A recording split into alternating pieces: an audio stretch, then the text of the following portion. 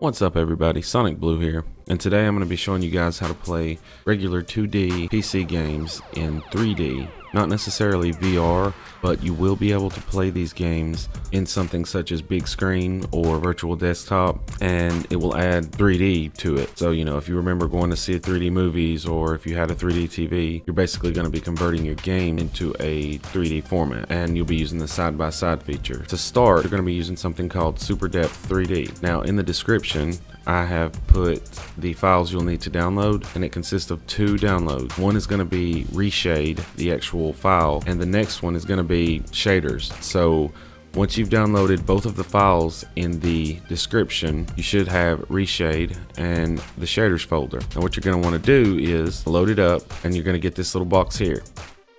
Now, once you're here, if you're using Vulkan if you're on a GTX, like most games aren't going to use this. Most are going to use, you know, like DirectX because that's what, or Direct 3D. So that's, you know, you're going to click this big button right here.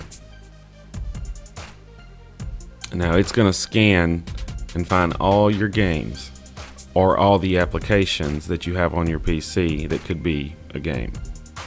And if you can't find the game, you're going to browse right here. Now what I'm going to be doing is I'm going to be using Resident Evil 2. So basically, I'm just going to go to my desktop since I have a shortcut there. And Resident Evil 2 is right here. Okay, we're going to open that up. And it's going to ask which render API does, you know, whatever application use. Now, if you're on an older one, that uses such something like DirectX 9 or before, you know, basically anything before DirectX 10, you're going to use DirectX 9 obviously. But most modern games are going to be DirectX 10, 11, or 12. So you're going to select that. And if you're using OpenGL or Vulkan, you know, you can select those too. We, however, are using DirectX 10, 11, and 12. We're going to be using 12 specifically. So click that then it's going to ask you which effects you want to install. Now, you can look through these and see if you see any cool little, you know, shaders that you might like. You you may, you know. But what I like to do is unchecked all. And I am only going to download I check Depth 3D just to make it actually put something in a folder in the game directory. So you've got this one checked, Depth 3D. You're going to click OK. Now it's going to download the shaders and all the files it needs. When you see this, you may now close the setup tool or click this button to edit additional settings. Just close it. Alright. Now we did that to the Resident Evil file. So then what you're going to want to do is go to the game directory, whatever the the root directory is for the game. And you are going to have some stuff called a folder called reshade shaders. You're going to go into that folder. And the folder that we downloaded called shaders you can just drag them over into it. But what I like to do is go into the folder and actually drag over super depth 3d you know, drag them all over. You're not going to use them all. And I honestly don't know what some of them do. But, you know, you can play around with them. I know they are for VR and 3D. So, you know, you may enjoy them. You may find a use for them. But once you've done this, you are then going to load up the game. Now I'm going to mute my game so that the audio doesn't come through, but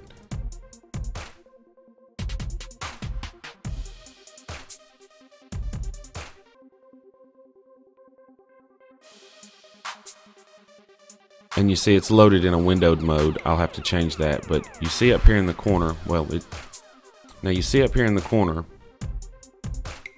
we have reshade 4.5 version you know installed and to get to it on your keyboard, you are going to hit the home key. when you hit the home key, it's going to bring this menu up. Now the home key is located above the, the directional arrows on a keyboard and it is right next to page down and up and right next to the delete key on most. Not the backspace key, the delete key.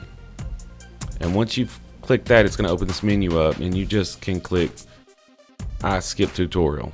All right. Now, once you've done that, all of these are the shaders you can, you know, you can activate. And since we're want to want to add a 3D effect to this game, we're going to do Super Depth 3D. And then you hit the home key again. And it closes that menu. Now if you'll notice, we've got a dual side-by-side -side screen here outputting on our display.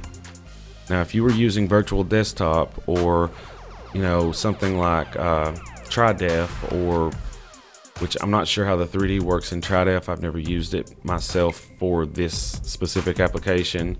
But uh, on big screen, this works amazingly. Now, I share the gameplay with people in big screen, and they can actually watch you play these games in 3D. Uh, you know, and you can have as big a room as you want, you know, based on your internet connection. But you know, it's it's pretty fun, you know, having a group of people in there while you play a game and, and it's in 3D. And you know, y'all are all kind of going through. It works really well with horror games. Now, uh, I'm to do a, a, another video on some some of the best games to use this with because I've actually tried it on a lot and I have found ones that work amazing with it and ones that don't work at all with it. And you know you can turn the effects on but when it when it lines up I guess the the depth map on the game isn't you know doesn't work with this program properly. But uh for the most part, the 3D effect is amazing in all games. Now, you know, you're splitting your screen in half, so think take that into consideration and adjust your settings to each game accordingly. But if you have any questions, you know, comment down below and I'll do my best to get back to you and answer you as soon as possible. Uh, need any help, like I said, just comment. And thank you for watching.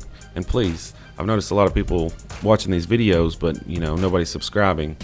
If you guys will subscribe more, I've got a lot of things that I want to do. Uh, mainly some game giveaways and a lot of things I want to show people how to do that would save a lot of money and time.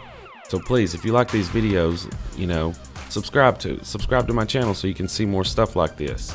And be sure to hit the like button so that I know you liked it. Thanks for watching.